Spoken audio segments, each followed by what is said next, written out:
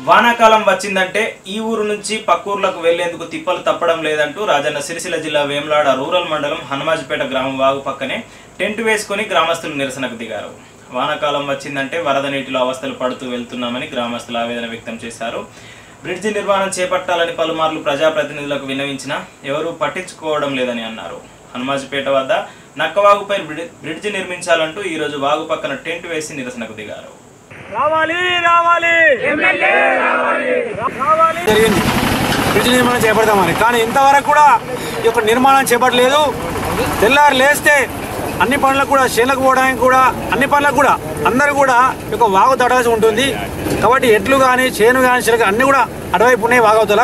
కాబట్టి ప్రవాహం ఎక్కువ వస్తే అటు పోవడం రావడం లేదు. కాబట్టి పోవడానికి చాలా ఇబ్బంది అవుతా ఉంది. కాబట్టి బండపల్లి నుంచి కూడా లేదా మారపాక నుంచి కూడా వెమ్లా నుంచి పోవాల్సి వస్తూ ఉంది. కాబట్టి ఇప్పటికైనా కానీ ఒక సమస్యను గుర్తించి ఎమ్మెల్యే గారు తక్షణమే ఇక్కడికి వచ్చి హామీ ఇచ్చేంత వరకు కూడా ఇక్కడ నుంచి లేచే ముచ్చట్లేదు కాబట్టి బ్రిడ్జి నిర్మాణం వెంటనే చేపట్టాలని ఈరోజు అధికార పార్టీ నాయకులకు డిమాండ్ చేస్తూ ఉన్నాము. ఈ యొక్క అధికార ఈ యొక్క దీక్షకు శిబిరానికి ఏ యొక్క రాజకీయ పార్టీతో సంబంధం లేకుండా అన్ని కుల సంఘాల ఆధ్వర్యంలో విద్యార్థి పరివార నాయకునిగా ఇక్కడ మేము ఒక దీక్ష శిబిరం చేపడతా ఉన్నాము. కాబట్టి ఇప్పటికైనా కానీ ఎమ్మెల్యే గారు వచ్చి హామీ ఇవ్వాలని అధికార పార్టీ నాయకులకు హెచ్చరిస్తా